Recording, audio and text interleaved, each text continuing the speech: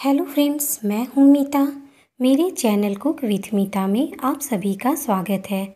अगर आपके पास टाइम कम है और आपको लंच में कुछ अच्छा सा खाना हो तो फटाफट से बनाइए ढेर सारी वेजीज़ के साथ। वन पॉट रेसिपी, यानी वेज पुलाव, वो भी मिनटों में। अगर आपने मेरी चैनल को अभी तक सब्सक्राइब नहीं किया है तो प्लीज़ सब्सक्राइब कर लें। तो चलिए quick and easy veg pulao बनाना शुरू करती हूँ। मैंने यहाँ पर एक कप चावल लिया है, जो माप में 200 ग्राम है। ये मैं लंबे दानों वाली बासमती चावल ले रही हूँ। इससे पुलाव खिला खिला बनता है, या आपके घर में जो भी बासमती चावल हो, आप उससे भी ये पुलाव बना सकती हैं। सबसे पहले मैं चावल को दो से तीन बार अच्छे से रगड़ कर वॉश कर लूँगी। ताकि इसका स्टार्च निकल जाए। ये देखिए, चावल को मैंने अच्छे से वॉश कर लिया है।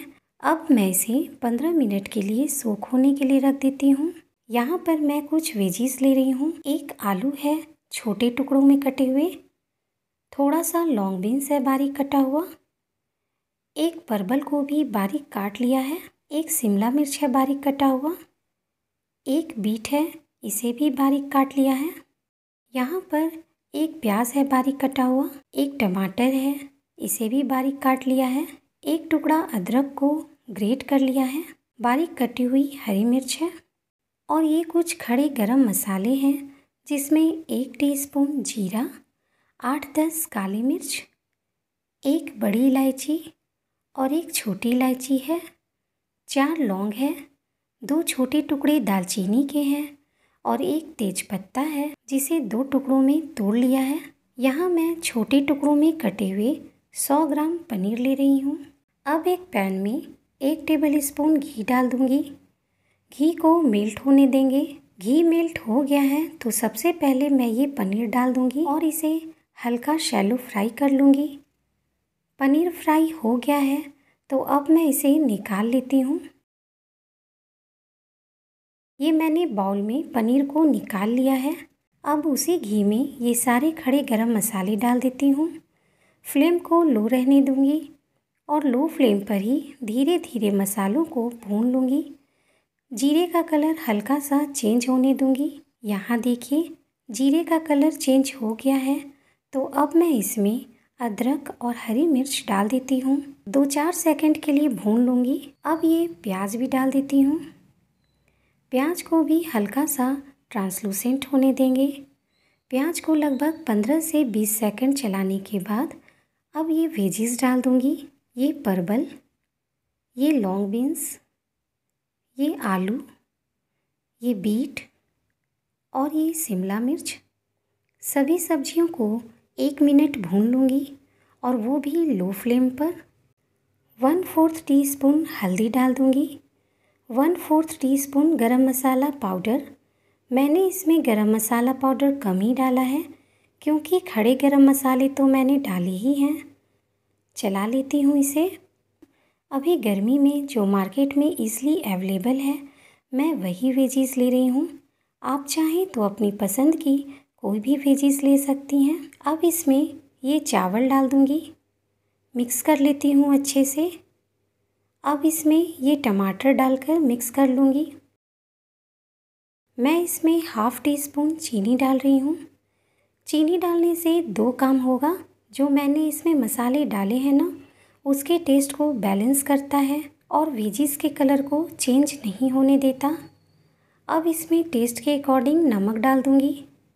मिक्स कर देती हूँ अच्छे से। अब मैं इसमें दो कप पानी डाल दूँगी। परफेक्ट पुलाव बनाने के लिए आपने जितना चावल लिया है, उसका दोगुना पानी डालें। यानी एक कप चावल में दो कप पानी डालें। मैं शुरू से फ्लेम को लो रखे हुए थी। अब मैं लीड लगा देती हूँ और लो फ्लेम पर ही दस मिनट होने दूँगी। दस मिनट हो गए हैं तो मैं लीड हटाकर चेक कर लेती हूँ। देखिए, इसमें अभी थोड़ा पानी है। तो इस स्टेज पर मैं इसमें पनीर डाल देती हूँ। और एक बार इसे हल्के हाथों से चला लेती हूँ। अब मैं इसे पाँच मिनट के लिए फिर से ढक दूँगी। पाँच मिनट हो गए हैं तो मैं लिड हटा कर देख लेती हूँ। देखिए, पुलाव काफ़ी यम्मी दिख रहा है और कितना खिला खिला बना है। तो मैं गैस बंद कर देती हूँ। मेरा वेज पुलाव बनकर रेडी है। तो अभी मैं इसे सर्व नहीं करूँगी। अभी इसे पाँच से दस मिनट के लिए ढक कर छोड़ देती हूँ ताकि पुलाव अच्छे से सेट हो जाए।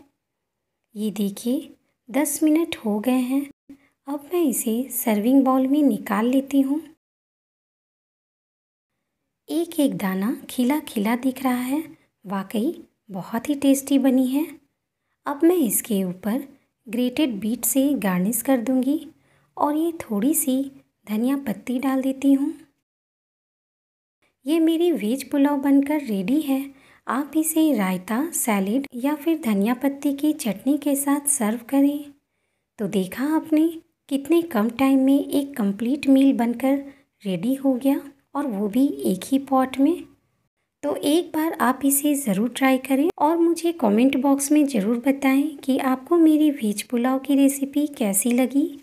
अगर आपको मेरी रेसिपी पसंद आती है तो प्लीज़ लाइक शेयर और सब्सक्राइब करें और बेल आइकन को प्रेस करना बिल्कुल ना भूलें, जिससे मेरी आने वाली न्यू वीडियो की नोटिफिकेशन आपको सबसे पहले मिल जाएगी। मिलते हैं नेक्स्ट वीडियो में।